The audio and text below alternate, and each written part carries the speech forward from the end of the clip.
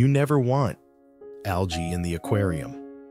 But when you have algae, you look for solutions to eliminate the algae from the aquarium. There are countless solutions to remove algae from the aquarium, but when your planted aquarium is an ecosystem without a filter, without carbon dioxide and other chemicals, things get complicated.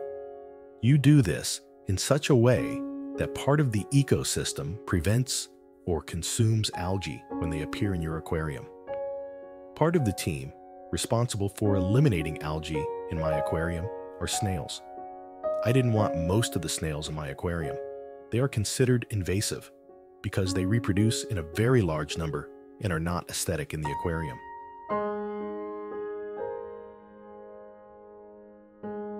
But I wanted a species of snail in my aquarium.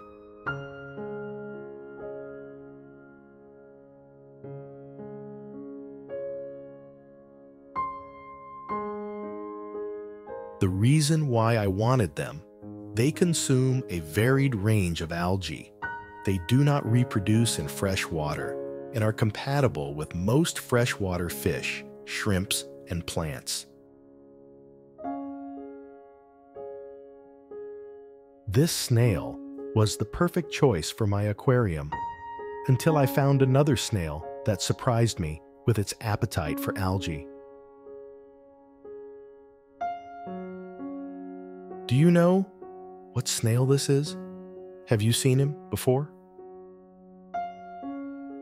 I will give you more details about this snail, but first, I will tell you why I think it is more effective in the fight against algae than Nerite snail. First of all, I have caught him many times feeding on algae from the aquarium glass, but from the substrate.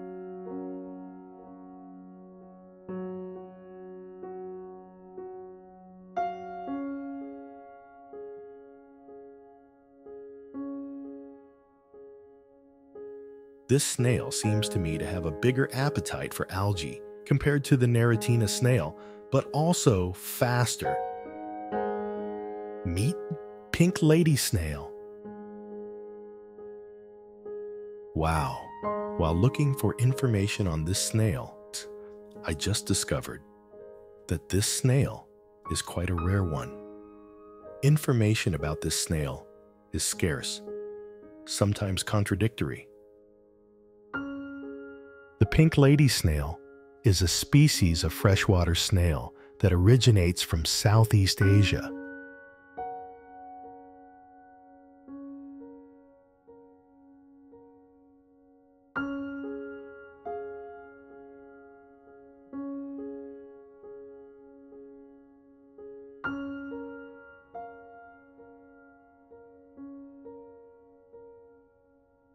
It was confused for a long time with a marine species of snail because it needs salt water to reproduce.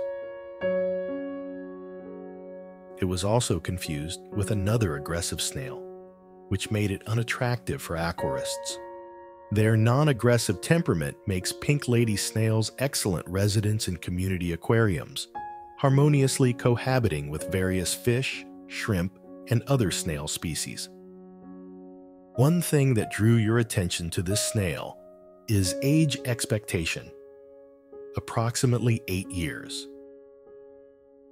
It is not pretentious regarding the quality of the water in which it lives.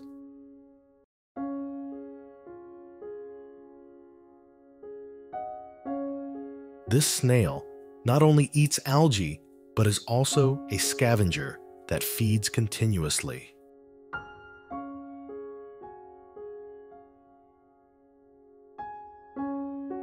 I managed to buy this snail at a very good price because I was told by the seller that people do not know and do not buy this snail. But on specialized websites, I found this snail at prices that discourage any buyer. Also, some information shows that the export of this snail from the countries where it is native has been banned.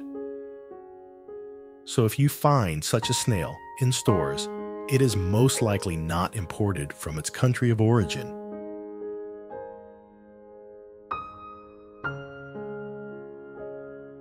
If you have more experience with this snail, leave me a comment. Don't forget to give a like and subscribe